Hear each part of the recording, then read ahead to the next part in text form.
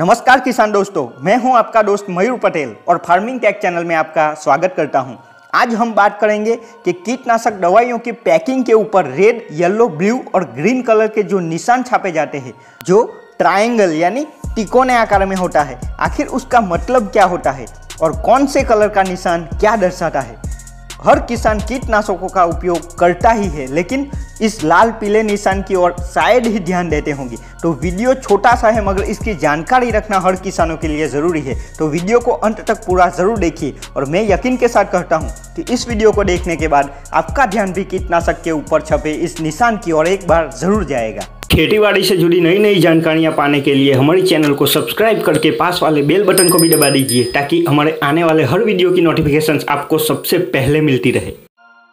तो देखिए, कीटनाशक दवाइयों के पैकिंग के ऊपर कुछ इस प्रकार के लाल, पीले, नीले और हरे, इनमें से कोई एक कलर का सिंबल बना हुआ होता है। आपको बता दें कि यह निशान दर्शाता है कि वो दवाई मानव जात और अन्य जानवरों के लिए कितने प्रमाण में घातक हो सकती है? मतलब कि यह निशान दवाइयों में मौजूद जहर की तीव्रता दर्शाता है। दवाइयों में मौजूद जहर की तीव्रता को इन्हीं चार रंगों में डिवाइड किया गया है। तो इनमें से लाल रंग वाले निशान की बात करें तो जिस भी दवाइयों के ऊपर लाल निशान छपा होता है, वो दवाइयाँ बहुत ही ज़्यादा जहरीली और घातक होती है। इसके जहर की तीव्रता के हिसाब से अगर किसी मानव या जानवरों के मुँह में एक मिलीग्राम से लेकर 50 मिलीग्राम तक दवाई उस इंसान या जानवर के प्रति किलोग्राम वज़न के हिसाब से मुँह में चली जाए तो उसका असर हो सकता है। अब पीले रंग के निशान वाली दवाइयों की बात करें तो इसमें भी जहर तो तेज ही होता है, मगर जहर की तीव्रता लाल निशान वाली दवाइयों से थोड़ी कम होती है। इस पीले निशान वाली दवाइयों की इक्यावन से लेकर 500 मिलीग्राम तक की मात्रा प्रति किलोग्राम वज़न के हिसाब से इंसान या जानवरों के मुँह में चली जाए तो उस इंसान या जानवर को इसका असर हो सकता है।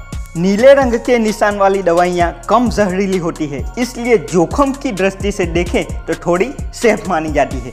इस ब्लू निशान वाली दवाइयों की 501 मिलीग्राम से लेकर 5000 मिलीग्राम मात्रा जानवर या इंसान के मुँह में प्रति किलोग्राम वज़न के हिसाब से चली जाए तो उस इंसान या जानवर को खतरा हो सकता है।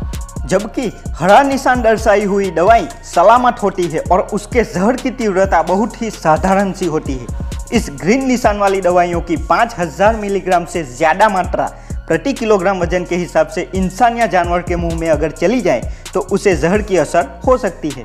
तो जहर की तीव्रता के हिसाब से दवाइयों को इन चार रंगों में डिवाइड किया गया होता है। इन्हीं निशानों से पता लगाया जा सकता है कि पैकिंग के अंदर मौजूद दवाई या जहर की ताकत कितनी घातक है। उम्मीद है कि यह जानकारी हर किसानों के लिए ज़रूरी और उपयोगी बनी रहेगी और किसानों को ज़रूर कुछ न कुछ नया जानने को मिला होगा। जानकारी अच्छी लगे तो इस वीडियो को लाइक ज़रूर करके जाइए और चैनल को भी सब्सक्राइब करना बिल्कुल भी मत भूलिएगा। जय किसान, जय हिंद।